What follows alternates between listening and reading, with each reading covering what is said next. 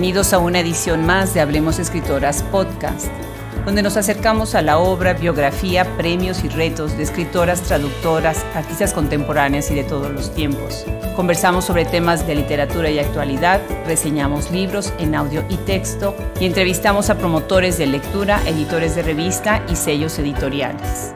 Además de escucharse en las plataformas de podcast más importantes, las secciones, índice, catálogo de libro y tags de búsqueda hacen de su página web una herramienta de gran utilidad para lectores, docentes, investigadores y todos aquellos que entiendan la importancia de conocer y difundir la literatura escrita por mujeres. Los saluda Adriana Pacheco.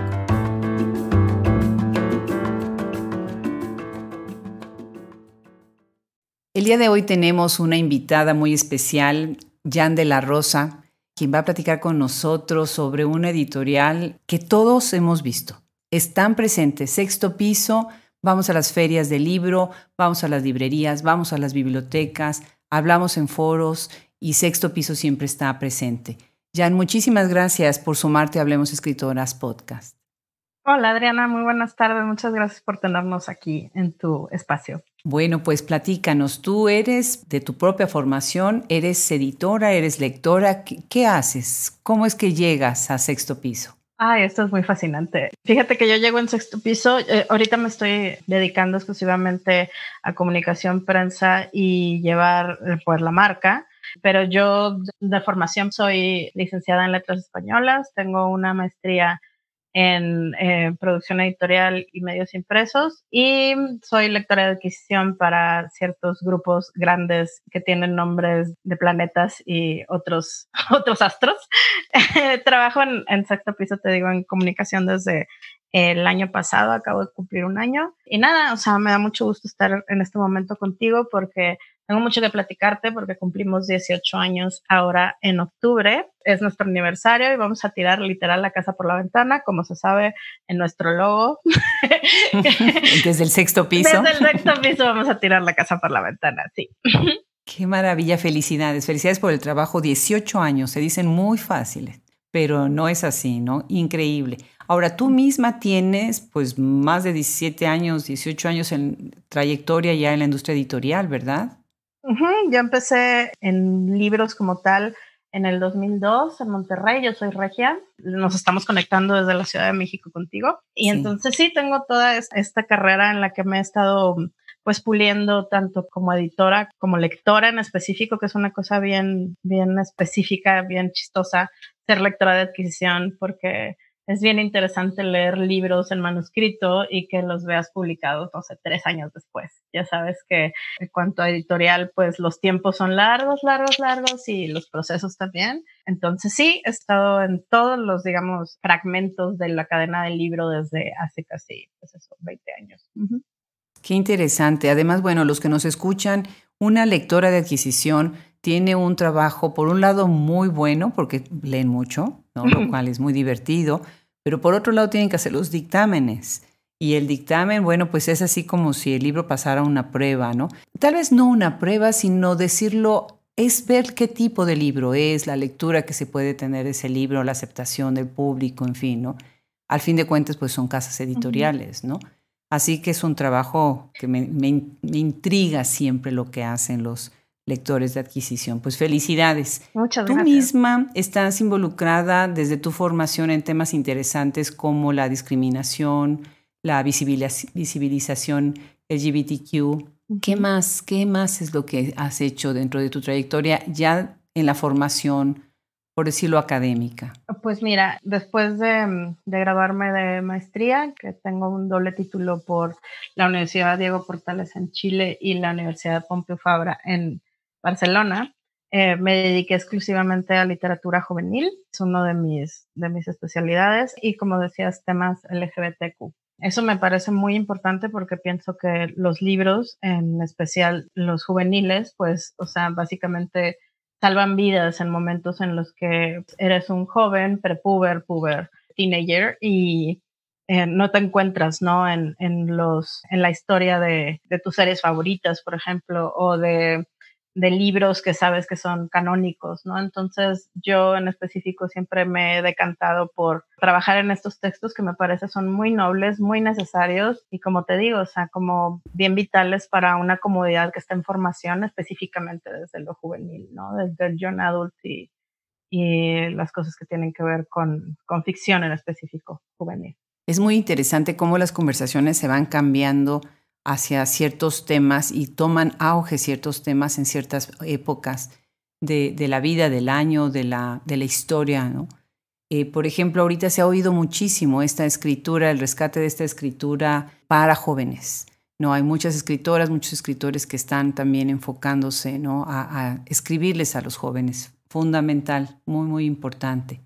Ahora que estás en sexto piso, ¿Cuál dirías tú que es la filosofía de la editorial? Es como decías hace rato y mencionabas, es muy importante nuestra, nuestra marca como eso, lo que es, o sea, somos em, irreverentes, ruidosos, somos los protagonistas de las, de las ferias del libro, como mencionabas hace rato. Pues eso, nos gusta, nos gusta estar, como se llama, como en la vanguardia, pues con una propuesta interesante a través de los libros, con una, una voz específica a través pues de nuestra marca y nuestro contenido y, eso, que cumplimos 18 años y que ya nos obligamos mutuamente todos los que participamos de la editorial a madurar un poquito. Pero, ¿cómo se llama? No lo esperen sentados, más bien espérenlo sentados, porque nos interesa, nos interesa seguir haciendo este ruido, ¿no? Y seguir con esta propuesta desde lo independiente y muy como enfocada al público, a la creación de públicos y nuevos lectores y personas pues interesadas en todo tipo de material, ¿no? Con un punto de vista bien, bien específico y bien, bien exquisito, que es el que refleja nuestro catálogo. Qué maravilla. ¿Quiénes integran el equipo eh, Sexto Piso? Me imagino que es una editorial grande, ¿no? Con, muchos integrantes, o, estoy equivocada? Estás equivocada. Y eso es algo, algo que nos encanta insistir. Em, somos una editorial chiquita en tamaño, pero no en ambiciones. Este, tenemos un consejo editorial que se compone de cuatro personas. Son Eduardo Rabasa, Diego Rabasa, eh, José Hamad en España y Santiago Tobón en España. Tenemos estas dos versiones de nuestras oficinas. Trabajamos en tándem con España desde el 2005 y nosotros como tal, como equipo, somos 34 personas totales, o sea, desde los jefes hasta la última persona en almacén, totalmente completos somos 34. Entonces tienen oficinas en México y en España. Tenemos oficinas en México desde el 2002, como te decía, cumplimos 18, y desde el 2005 en España. Qué interesante. Y las, los intercambios, por ejemplo, en ferias, eh, en eventos y demás, los hacen en los dos países. Sí, los hacemos usualmente, eh, como podrás saber, contratación de derechos internacionales pues se hacen desde Europa, entonces España hace mucho del, del proceso de contratación, pero desde acá eh, estamos empujando cosas que tienen más que ver con distribución, pues hasta al punto más lejano de Chile, que es nuestra área de, influencia, ¿no? Em, obviamente todo México, Centroamérica, eh, países como Colombia, Argentina, Venezuela, etcétera, ¿no? Entonces estamos muy presentes en, Latinoamérica. Ok, entonces dirían Cono Sur, eh, bueno, Latinoamérica en general, España, Caribe. Caribe, eh, nos estamos moviendo a través de, distribuidores más específicos en esa zona. Digamos que no nos vamos a detener hasta que nuestros libros estén en absolutamente todos los resquicios de esta enormísima Latinoamérica que tenemos. ¿Qué dirías tú que es la historia de la editorial? ¿Cómo surgió la, idea de formar Sexto Piso? pues mira, esta em, Em, vamos, vamos a tomar primero el nombre de la editorial, que es una cosa que nos preguntan muy seguido.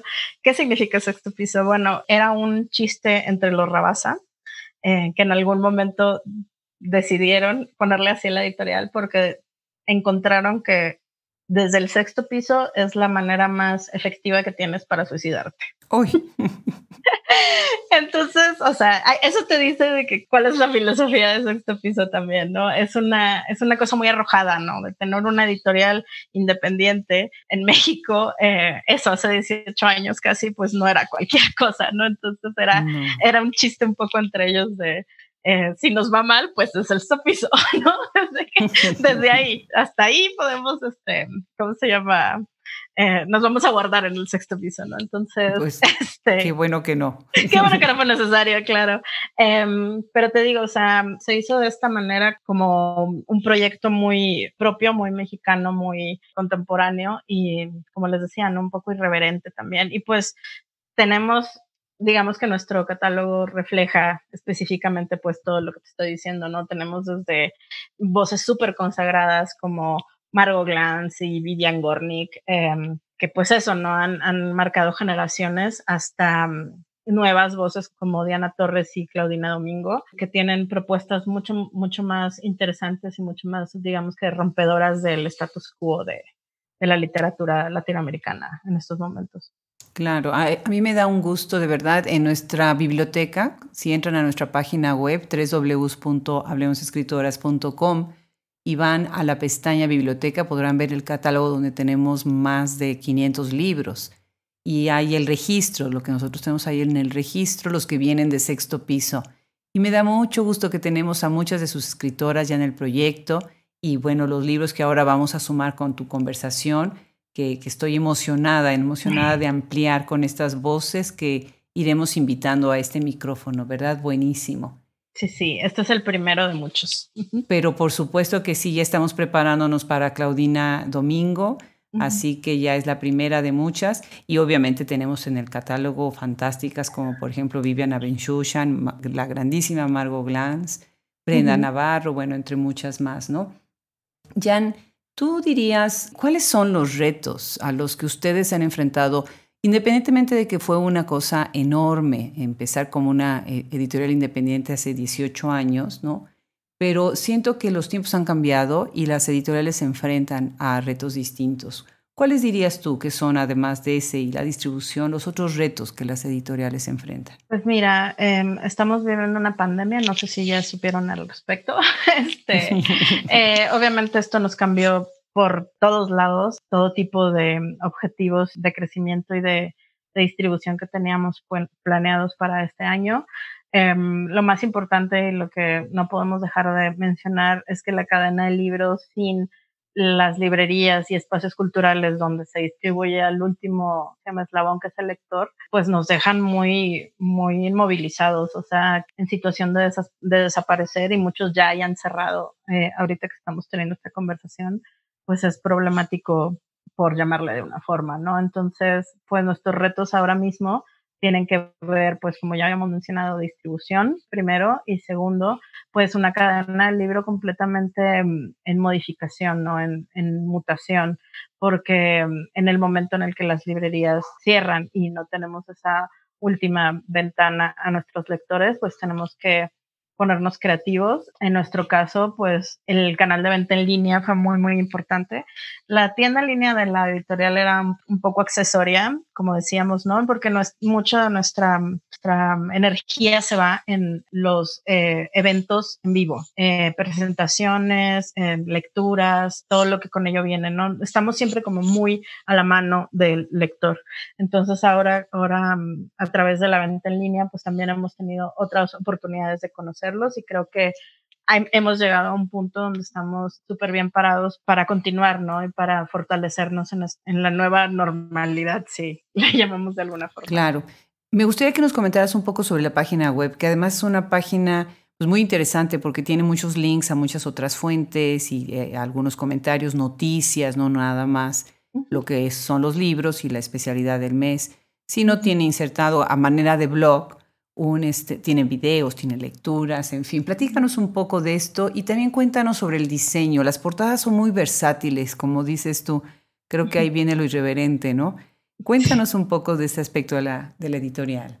Sí, mira, pues nuestra página web está es pensada para ser más allá de nuestra tienda, como mencionabas, pues toda una serie de, eh, de contenidos para todo tipo de lectores, ¿no? O sea, nos sirve obviamente como escaparate porque pues es nuestra cara hacia, hacia el exterior, pero también tenemos esta otra, otro aspecto de las lecturas, por ejemplo, que hemos estado acercándonos a nuestros autores cuando ellos también están padeciendo toda esta zozobra pandémica.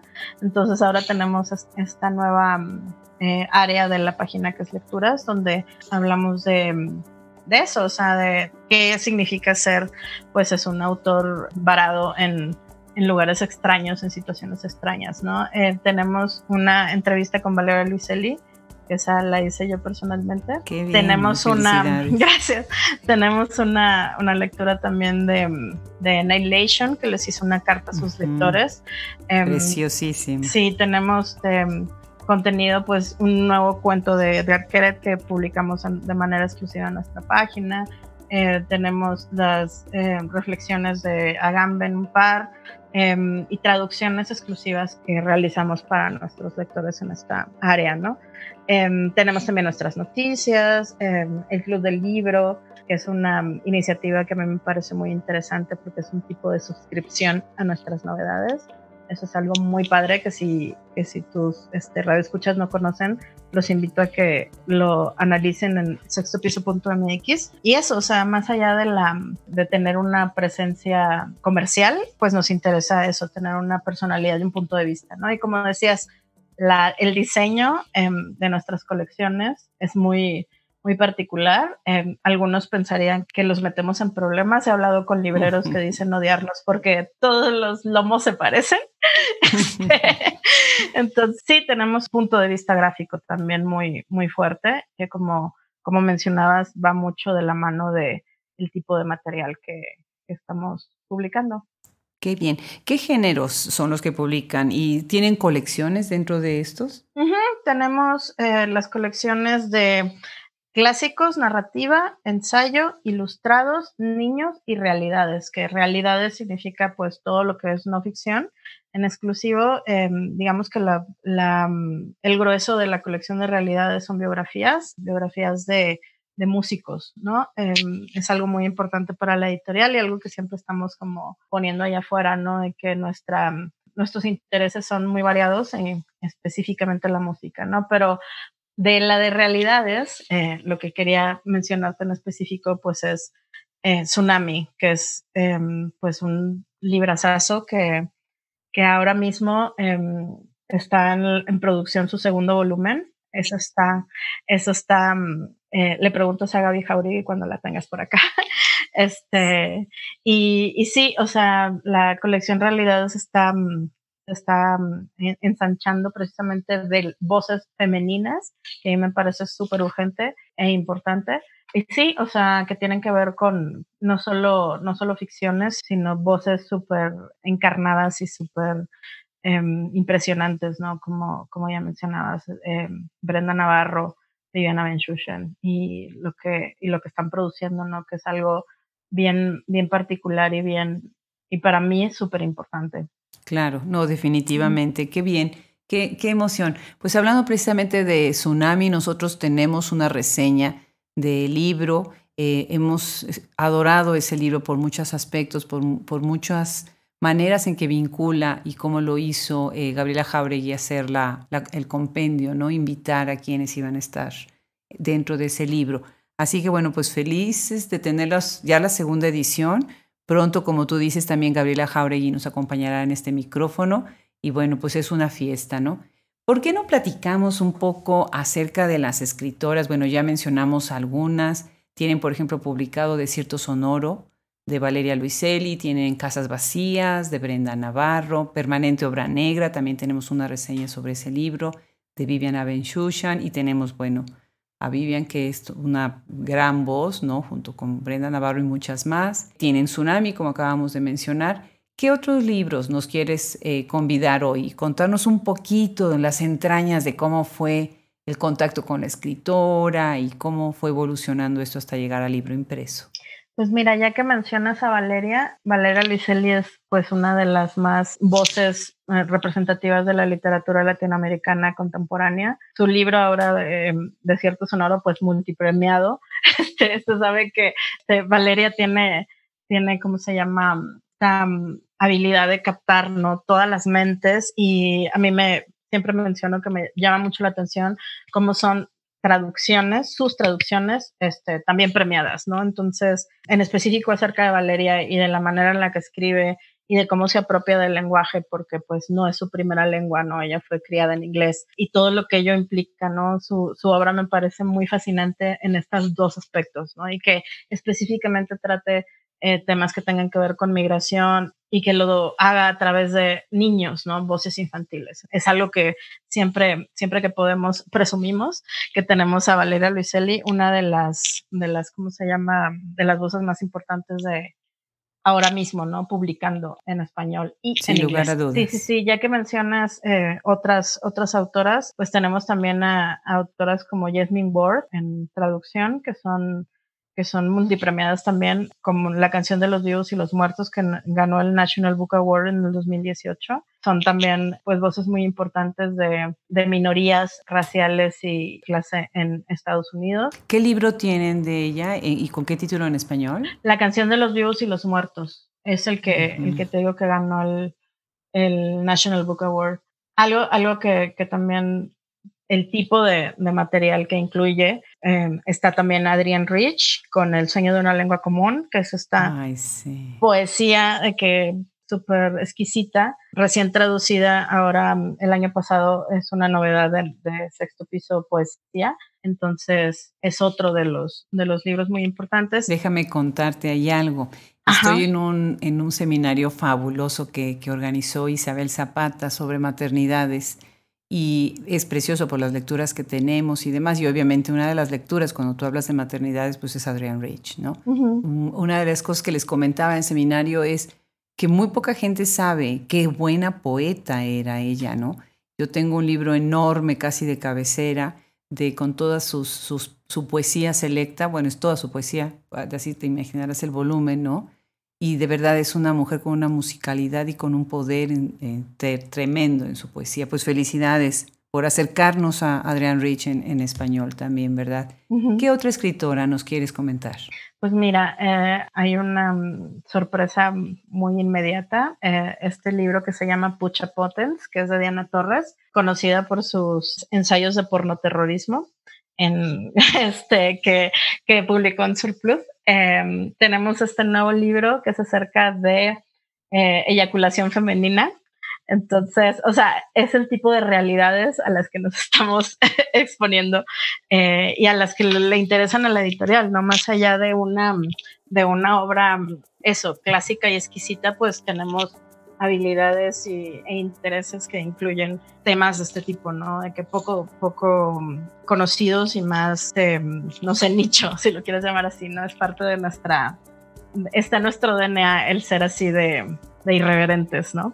Eh, y entonces eso es una de las, de las novedades que esperamos para invierno, junto con el nuevo libro de, de Margot Glantz que se llama Cuerpo contra Cuerpo, Mm. eh, que también viene, que viene muy fuerte para el cierre del año. Eso es lo que tenemos en el tintero ahora mismo, además de la um, importación, y eso es algo importante, eh, del libro de Miriam Toews que se llama Ellas Hablan, que es un, una ficcionalización de una situación que pasó en una um, comunidad menonita durante los 80. Entonces, hay, hay una serie de, de nuevas voces y, y traducciones súper interesantes que tenemos pendientes de, por lanzar, que es, ya lo hubiéramos hecho si no hubiera una pandemia, obviamente. Este, pero estamos muy emocionados de estar retomando otra vez nuestras, nuestros espacios y eso, estar haciendo como mancuerna con libreros y lectores y demás. Tienen también un par de antologías más eh, recientemente publicadas, ¿no? Las ciudades que somos, por ejemplo. Uh -huh. ¿Nos quieres platicar sobre esta? Es, este, es muy importante también ese, ese volumen porque es de las gráficas que tenemos que tenemos este, en, en, catálogo. Y pues es muy importante, por ejemplo, que está Power Paola, María Luque y estas nuevas eh, voces femeninas de la novela gráfica eh, autobiográfica que tratan estas eh, como temas súper íntimos a través de su, de su obra gráfica, ¿no? Entonces es otra de las cosas muy importantes que en la editorial tenemos como bien presentes. Eh, no solo estamos hablando de talentos eh, como de escritura como tal, ¿no? Eh, sino nos fascinan las historias bien contadas, ¿no? O sea, en, no importa el, el, medio ni la, o sea, ni la manera en la, en la que lleguemos ahí, ¿no? Eh, lo gráfico es muy importante para nosotros también. Claro. ¿Por qué no nos empiezas a abrir apetito y la curiosidad por Claudina Domingo, a quien ya estamos preparando para, para una futura entrevista? y el libro que ustedes le publican. Sí, mira, el nuevo libro de Claudina que se llama La noche en el espejo es una mm, lectura súper onírica, inspirada mm, precisamente en Alicia a través del espejo. Es una novela muy punk porque no tiene mm, no tiene hilo narrativo como tal, está escrita entre sueños y a través de los sueños, entonces, como les decía, es una obra muy, muy particular y muy em, interesante en sí misma como narrativa, ¿no? Em, y es la primera novela de esta naturaleza de Claudina, quien hasta este momento ya ha publicado cuento. Entonces es una manera de, crecer su obra y, estar pues presente en estas nuevas conversaciones, ¿no? A través de, estas nuevas voces femeninas, en su caso eh, a través de la novela. Y eso, espero que les guste. Em, Claudina está muy emocionada de estarla presentando después de una pandemia también. Entonces parecía que no existía, pero ya lo tenemos con nosotros. Entonces estamos muy felices de que, de que ustedes los conozcan también. No, claro que sí. Les comentaba en una entrevista que ahora me tocó a mí estar del otro lado del micrófono en una estación que se llama Violeta Radio y les comentaba que, que me emociona tanto el talento de las escritoras contemporáneas que a veces se me, de verdad, se me llenan los ojos de lágrimas. De esa emoción, ya sabes, cuando tienes el nudo en la garganta que dices, pero ¿cómo es posible este, este poder, estas voces, estas fuerzas, esta calidad literaria, estilística? y que no se difundan, ¿no? Y que no sepan de ellas, ¿no? Así que, pues felicidades por abrir estos espacios a, tantas escritoras y por hacerlo lo suyo, ¿verdad? Que, que es importantísima la función de, de, las editoriales. ¿Quisieras agregar algo, Jan, para terminar esta conversación tan, tan, agradable? Ay, pues no, nada más quería, quería darte las gracias por, por interesarte en nuestro, en nuestro material, eh, darnos esta oportunidad de, de pues, empezar la fiesta la fiesta de aniversario con ustedes.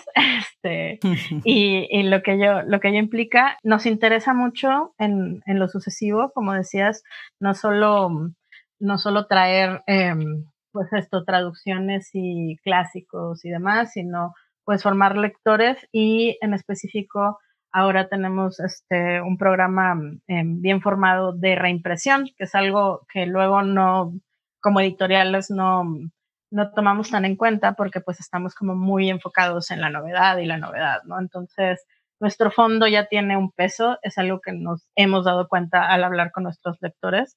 Entonces ya tenemos un programa súper bien armado de reimpresión, cuáles son los, los libros que nos están pidiendo, escuchamos todo el tiempo a través de redes, a través de, em, de servicio al cliente, cuáles, qué es lo que están buscando nuestros lectores. Entonces, reimpresiones vienen súper fuertes en este cierre de año también y sucesivo. Y nada, o sea, estas nuevas voces que estamos, que estamos intentando, como dices tú, difundir y a las cuales les estamos dando un espacio en nuestro catálogo, pues nos necesitan a, ustedes como lectores, ¿no? Para tener esta, digamos, el alcance que merecen, ¿no? Y, y ser descubiertos y emocionarse por algo que te toca y te vibra em, a, esta, a este nivel, pues algo que Sexto Piso sabe muy bien hacer. Digamos que por, por definición no publicamos libros que no simbren de alguna forma. Está nuestro, en nuestra constitución a, un, a un lector bien específico con una propuesta pues original y transgresora. Entonces, muchísimas gracias por ser lectores, muchísimas gracias por tu invitación. Estamos aquí para lo que necesiten. Como ya había mencionado, sextopiso.mx es nuestra página de internet. Ahí pueden encontrar nuestras redes sociales, nuestro newsletter, lecturas invitaciones de todo tipo a eventos virtuales ahora mismo. Eh, esperemos que en vivo muy pronto. Y pues eso es todo de mi parte. Muchísimas gracias Adriana por este espacio y espero que estos libros, sus autoras y estas voces pues lleguen hasta, hasta donde se merezcan llegar. Pues al contrario, Jan, qué gusto. Oiga nada más, ¿a poco no es un privilegio escuchar a nuestros editores? Muchísimas gracias, Jan. Ese entusiasmo me encanta. Y por favor, felicita a todo el equipo de Sexto Piso. Acá tienen siempre un micrófono abierto para ustedes. Un abrazo grande. Gracias, Adriana. Buenas tardes.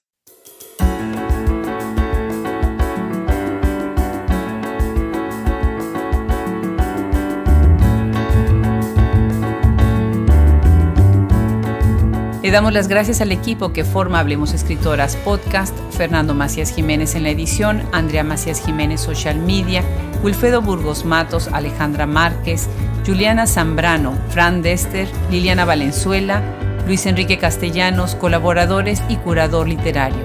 Se despide de ustedes hasta el próximo episodio, Adriana Pacheco.